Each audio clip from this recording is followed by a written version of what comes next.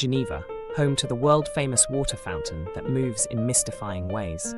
This iconic landmark, known as the Jet d'eau, shoots water 140 meters into the air, creating a mesmerizing sight for all who visit. What makes this fountain truly unique is its ability to change direction depending on the wind. The water dances and sways gracefully, enchanting spectators from near and far. Originally built as a hydraulic power station, the Jet d'eau has since become a symbol of Geneva and a must-see attraction for tourists. Its mesmerizing display of water and light is a sight to behold, especially during the evening when it is illuminated. So next time you find yourself in Geneva, be sure to visit the world-famous water fountain that moves in mystifying ways. You won't be disappointed. Thanks for watching the video. Don't forget to subscribe to our channel for more travel content.